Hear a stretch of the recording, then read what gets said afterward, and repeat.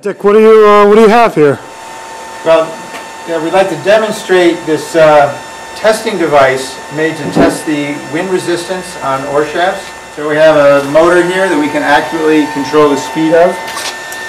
And on this turntable here, we have a um, load cell that measures the force or torque on this spinning table.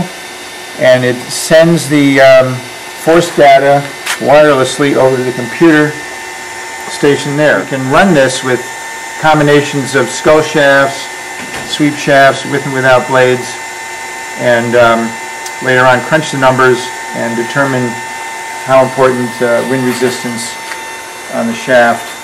All right up, see it going.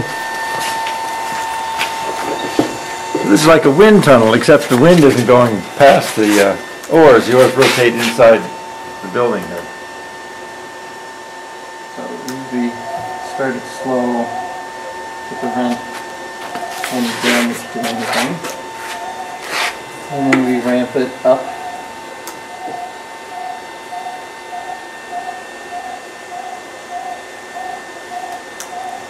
So we'll collect data at incremental speeds up to um, the, the equivalent of a um, about a 20 mile an hour headwind. So Trevor, Trevor, how, how many RPM does it typically get up to?